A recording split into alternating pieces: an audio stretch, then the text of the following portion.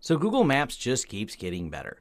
Now, I'm going to go ahead and preface this. Yes, I'm aware of the privacy concerns. Yes, I'm sharing where people are. Uh, the government already knows where I'm at based on my phone. And if you don't want the government to track you or Google to track you, turn your phone off. Don't even have a phone because that's how that works. But if they're going to track me, and since I'm using a phone and wandering around with it all the time and it has GPS in there, I don't have a flip phone, I have a Nexus uh, smartphone. So I, why not get some benefit from it? Well, that's what Google's doing. Now, this is the lo- new location sharing feature. Now, there's a lot of new features in Google Apps. This one's a fairly recent one, but I've started using it quite a bit and it's become very handy, especially on my recent trip to Seattle. Uh, you can find out where people are. So I know my wife's at work and it lets me see right where she's at. Whoops. And we're going to go here to maps, location sharing. I can click on, there's my wife, and she's at work. As of one minute ago, her GPS showed there. Now I also have my daughter in here, and she should be at school right now, and appears that she is at school right now. And her phone was last this is weird last touched 51 minutes ago but she i think she turns it off while she's in school. She's in high school so they they frown upon constant phone usage. Uh, i know my wife never turns her phone off for she's always playing with it. But what this does is allows people to share location. Now you do the sharing and the location sharing via the app. That's why it says use the app here. So let me show you that on the phone. So here's this let me get this out of the way so same menus share location. I can click on it. There she is, and there my daughter is. So these, and Marvin decided not to share, but that's a different story. Uh, I can see that she's near Bingham Farms, which is correct. I can then, I want to navigate to her. There goes it updated. You just double click on it, and it tells me from my office how quick to get there, all your standard map options, so I can start and route right to her. Now, if I want to add, and let's see, I'm right here at work. And if I wanted to add someone in here, I like the way this works. So it lets me know first who I'm sharing my location with. They'll show up at the bottom. And when I click this, share your real time location for, by default, one hour. But I still have to either select a person or a method by which to share it. I can share a link. I can say until this turns off.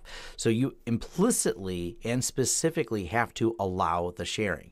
And this is important. That way you can't just kind of fumble around on the phone and add your sharing. So I have to implicitly say share my location with. And the people on here had to share their location with me. And that's an important way the app works. That way you don't accidentally uh, have a stalker send you a friend request, so to speak, or some type of sharing request, and you say uh, yes, whatever this thing is, and next thing you know, people are following you around.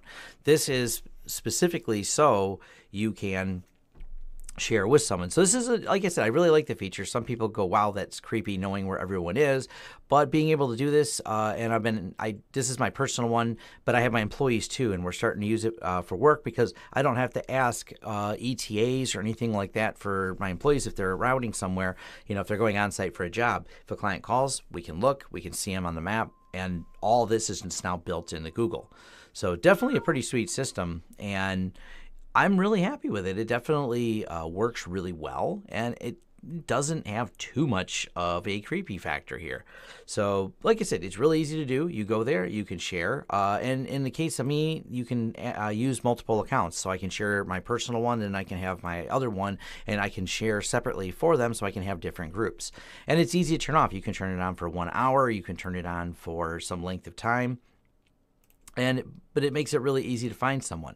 Uh, it also turns out it makes it easy for my uh, daughter to know, Dad, you haven't left work yet. Are you going to be on time? and she sends me messages. But it's uh, pretty neat. It's location sharing. It's free, built into Google Maps, and yes, it does work as long as they're using uh, the Google Maps function. It will work on non-Android phones. So if they're using an iPhone, but they are using uh, a Google address signed into a Google account and are using the Google Maps on the iPhone, yes, it will share the location back. But it works flawlessly with Android. I really don't have any friends using iPhone to really test this with, but uh, definitely pretty neat. And something to keep an eye out there if you're looking for kind of a neat and easy way to share or set your employees up. Some people have accounts uh, for business and you can share with the employees and see where your team is at, especially if you're like us and traffic becomes a factor driving places. So you can kind of uh, predict it. But this is not a charge for service, it's just something else. I mean, Google's slurping up your data anyways. Why not get some benefit for it? So thanks for watching. If you like the content here, like and subscribe. Thanks.